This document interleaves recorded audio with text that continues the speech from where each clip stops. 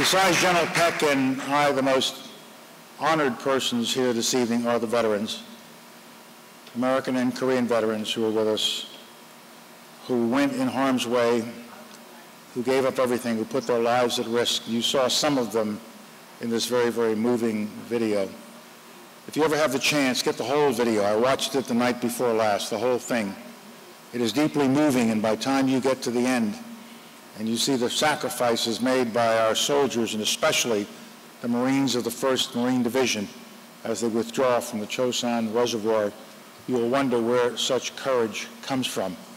Well, it comes from America. It comes from Korea. It comes from people who believe in freedom and are willing to give their all for freedom. And so I salute all of the veterans who are here this evening, and I thank them for their service to America and to Korea. The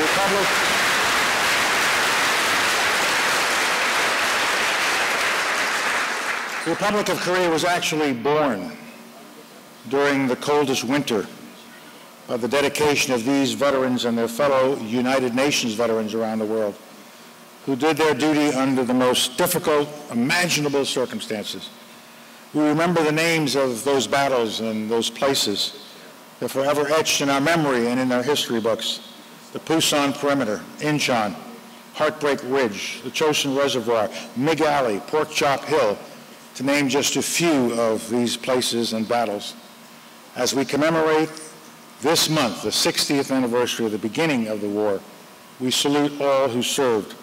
We will never forget the service that they performed and what they achieved. You may have noticed one little clip out of the film, and it's a line I picked up after watching the the other night, and I used it yesterday when we dedicated a new monument to the Korean War, War veterans in Cedar Rapids, Iowa. And they've always said that this was the forgotten war.